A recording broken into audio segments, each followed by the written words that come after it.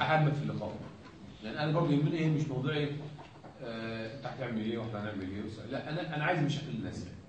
وأنا هدف إن أنا في اللقاء برضه أنا عايز أعرف مشاكلها. عشان نقدر نحله نقدر نحله أهلا وسهلا اللي مش في إمكانيات حلو والله يا جماعة اللي فاتوا إحنا كلنا مسؤولين يعني مثلا زي مطار زي طاقة شمسية زي إحنا نبذل اقتصاد أنتوا حضراتكم بال- بالمجمل الكلام اللي اتقال يعني ال- مثل القوافل الطبية إحنا والله اللي أنا قلت لسه كنت بقول التلفزيون قلت له دول مش نحطهم على دماغنا إحنا وانتوا والمسؤولين والكلام ده. الدكتور اللي هيجي لك من الزقازيق أو من اسكندرية أو من القاهرة ويسيب عيادته ويسيب جامعته ويسيب حاجة ويجي لك هنا ده ده ده, ده, ده, كلنا نحترم يعني كلنا نحترمه ون- ون- ونغطي اخبارهم. أنتوا اي دور ونروح نعمل معاهم ونخليهم يحفزوا الناس التانية تيجي. يعني إحنا لو لو عندنا 20 30 كلية طب وعملنا كل شهر بس تجي لنا كلية طب تاخد لنا أسبوع عندنا ده إحنا نغطي السنة كلها.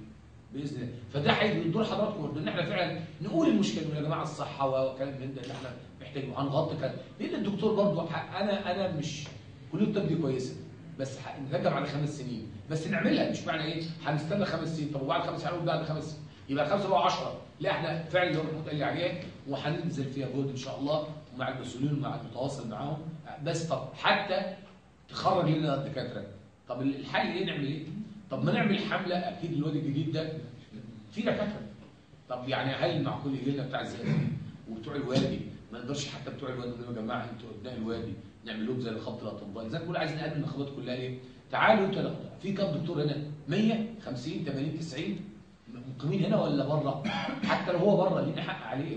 والبلد ليها حق عليه. نجمعهم نقول أنتوا أنتوا النهارده أنتوا ابناء الوادي تروحوا تقعدوا أسبوع. ما هقول لك ابدا بنفسك يعني أنا لما بدأت بنفسي يا جماعة تعالوا ساعدوا. هم يعرفوا استشاريين ويعرفوا دكاترة.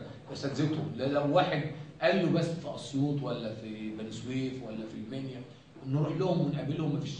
لا ضرر. موضوع الطب ده فعلا موضوع الدكتور المقيم اللي هيقعد في قريه على مسافة 200 كيلو عشان يروح المركز 200 كيلو.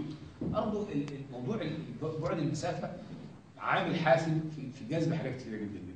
فاحنا لازم نتغلب عليها بالأفكار اللي